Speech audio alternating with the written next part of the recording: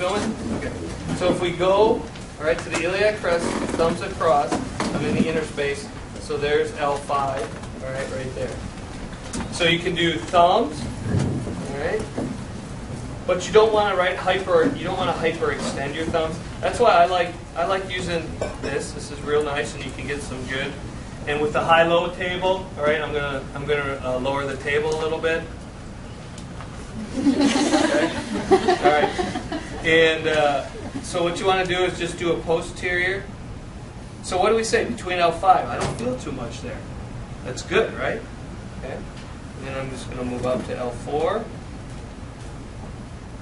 And then I'm going to feel, and I'm also going to say to the patient, how does that feel?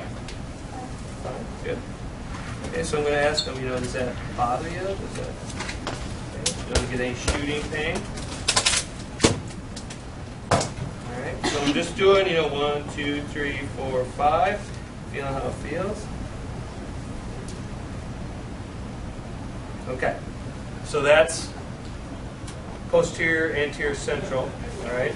And then we can go to unilateral, so we'll just go off to the side. So spinous process is here. So again, I'm not going to have much motion at L5, S1. So I kind of take this hand now and do a little bit. And I'm just feeling what it feels like as it's moving. And I start with a light pressure, all right? And then I just kind of gradually go a little bit deeper and deeper. All right, so I can do that side and then I can do the other side. Good? Pretty easy, right? So